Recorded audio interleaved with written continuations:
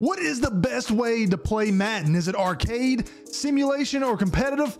Let's talk about it. So, ever since Madden 18, EA has given us the option to not only play the game in different skill levels, so like rookie, pro, all pro, and all Madden, which has been something in the game for a very long time, they also implemented a new game style and they gave us three options one being arcade, one being simulation, and the other being competitive. A lot of people want to know what is the best one to play? Which one should I play? And it's very important for you to understand the three different types of game styles so that you're playing Madden the way that you need to play it. So, first up, we're going to talk about arcade game style. And arcade game style is specifically mentioned as over the top action filled with spectacular plays, lots of scoring, and limited penalties. Next up is simulation. Simulation is supposed to play true to player and team ratings with authentic NFL rules and gameplay. And last up, we have competitive game style in which user stick skills are king and it is the default for head-to-head ranked online matches and tournaments. But that really just doesn't tell you enough. So what I did was I actually went in, I played a few games with each game style so that I could better explain to you exactly what each game style is going to bring to you. And first up, we're going to talk about arcade. Arcade, as we mentioned previously, is described as over-the-top action filled with spectacular plays and lots of scoring and limited penalties. The way that you want to think about arcade arcade mode is more along the lines of like NFL Street, NBA Street, the more over the top, uh, dynamic, a lot of crazy things are going to happen. If you make a hit stick, a lot of times that fumble is going to occur. If you jump up in the air and try to make a spectacular catch, you're going to make that catch more times than not. You'll break big gains. Defense really won't be much of a thing unless, again, you're trying to intercept or for force a fumble. And this game mode might be really, really great for some people who are just getting into playing Madden for the first time. Maybe if you have kids who are just wanting to have fun, or maybe if it's just you, you want to have fun playing the game. You're really not trying to be the best Madden player ever. You just want to see some crazy plays happen. You just want to have fun with you and your friends.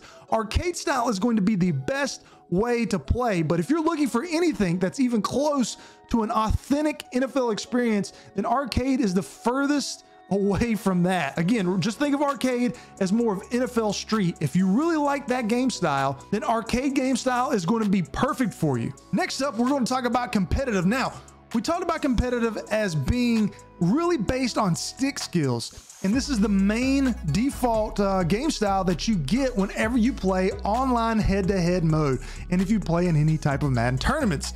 Now, the big thing to remember about competitive is it's not arcadey and it's not very much a heavy simulation uh, style gameplay.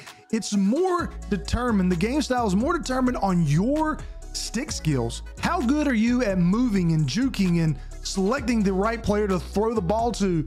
And ratings aren't exactly king in this situation. Ratings do matter a little bit, but what matters the most is how good are you at juking and moving and creating uh, separation from defenders or switching to other players to swap passes and get interceptions or run after the catches. All of those things that you see online with big highlights and you see a lot of this on TikTok with players, you know, juking another player on head to head. That's what that's all about. So competitive might be really good for people who love to play online head to head. It's a good game style to always have on so that you can get used to how the game feels and moves.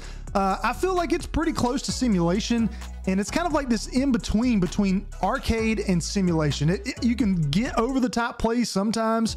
I feel like some of it's realistic, but it's really based on, again, how good are you at moving the sticks on your controller? I also think this can be used in bigger and larger leagues if everybody wants to try to hone in their stick skills. But if you've got 32 players or 32 uh, users in a league and you have some of them that really aren't good at juking and creating separation using the left and right analog sticks. Maybe they're just after a more realistic NFL experience on Madden, then they're probably not going to like this. But again, competitive is going to be used mainly for those who want to play online head to head and in Madden tournaments. And last up is simulation, which is specifically what I play on. Now, remember, simulation was described as playing true to player and team ratings with an authentic, quote unquote, authentic NFL rules and gameplay. Now, the biggest thing that you have to remember about simulation is that ratings matter the most. Ratings are key. Just because you're good on the sticks or just because you throw to the right player you uh, press the button at the right time does not mean that you're always going to execute that play. Because simulation is trying to replicate an NFL game day experience, ratings are going to matter most. Just because you try to hit stick somebody and you do it perfectly at the right time, well, if it's Derrick Henry, you're probably not going to force a fumble, or you're probably not even going to knock him back. You might execute the tackle, but you're not going to knock him backwards. On the other side of things, just because you might have Derrick Henry, who's one of the strongest backs in the league, and quite honestly, the best running back, if you try to truck someone, just because you're better than them doesn't mean that's always going to happen. Now, in competitive and arcade styles, you can get away with that almost nine times out of 10. So, again, simulation is more based off of a real NFL game day experience and overall ratings from player to player. Competitive is more based on user stick skills. This is what you want to want to use if you're going to play a lot of head to head tournament type game modes of Madden. And arcade is just over the top. Almost every pass will be completed if you if you hit the right one. You're going to force fumbles on almost every single hit stick. You'll juke out, you'll juke defenders left and right almost automatically. And again, it's more of an arcade style, much along NFL Street. So there you go. There are the three gameplay styles. I hope that helped clarify things for you guys. Personally, my favorite is simulation.